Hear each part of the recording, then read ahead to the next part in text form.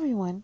For a sequence A sub n, the sum of the first n terms is S sub n equals 3 times A sub n plus 1 plus 4 for our natural numbers 1, 2, 3, and so forth. Now, when the fifth term is 18, we want to find the value of the seventh term. So basically, uh, we already know what um, S sub n equals, and we need to find A sub n. And the way to find A sub n is like if you have certain numbers here. Let me do the sum here.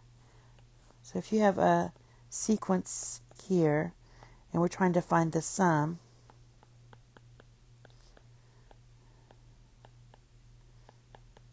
so that would be some sequence. To get this term here, what you can do is take this whole sum and then subtract this sum.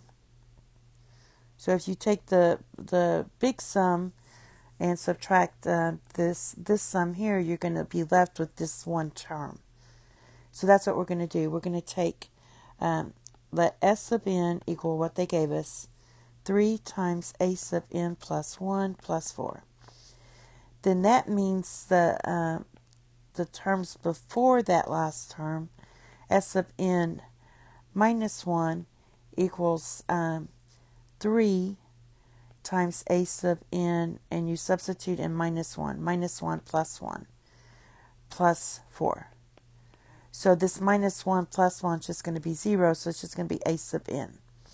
All right, now that you have that, we're going to subtract them to get our a sub n. So basically, we're going to take s sub n minus s sub n minus 1.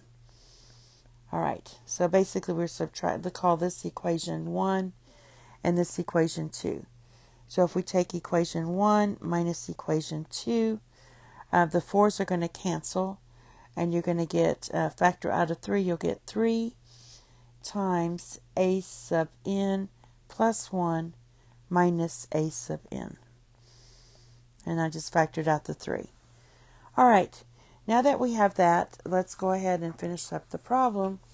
Um, we know what a sub n is, so this equals your a sub n. Now let's solve for a sub n. So if you have a sub n equals 3, um, a sub n plus 1 minus 3 a sub n, then what I'm going to do is add this to both sides. So you get 4 times a sub n equals 3 a sub n plus 1. All right, so that means um, if I solve for a sub n plus 1, that's going to give you 4 thirds a sub n. This is when you have more than uh, two or more terms. All right. That means our sequence is geometric with our first term is going to be a sub 2. So our first term is going to be a sub 2 and our common ratio is 4 thirds.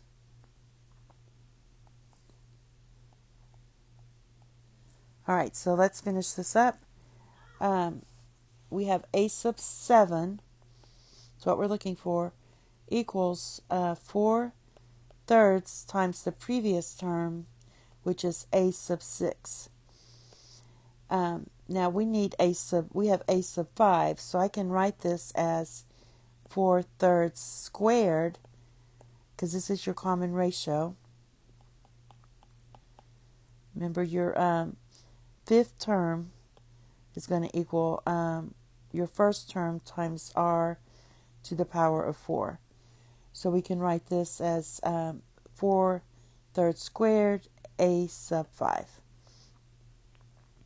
Now this is going to equal 16 divided by 9 times, now a sub 5.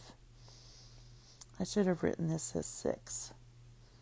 Uh, a sub 6 equals a times r to the power of 5. Sorry about that. So that's where you get the 5 here. So um, when you square this, you get 16 divided by 9. A sub 5 is 18, and this is going to equal 32. And that's it. Thank you. Have a nice day. Bye bye.